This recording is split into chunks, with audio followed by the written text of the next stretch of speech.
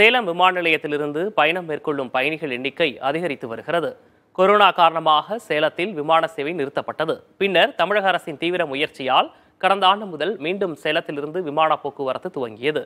Alliance indigo உள்ளிட்ட விமான நிறுவனங்கள் பெங்களூரு ஹைதராபாத் கொச்சி சென்னை உள்ளிட்ட நகரங்களுக்கு விமான சேவையை வழங்கி வருகின்றனர். இந்நிலையில் கடந்த மாதம் இருபத்தி மூன்றாம் தேதியிலிருந்து இம்மாதம் இருபத்தி நான்காம் தேதி வரை சேலம் விமான நிலையத்திலிருந்து பதினோராயிரத்து அறுநூற்றி இருபத்தி ஏழு பேர் பயணம் மேற்கொண்டுள்ளனர்.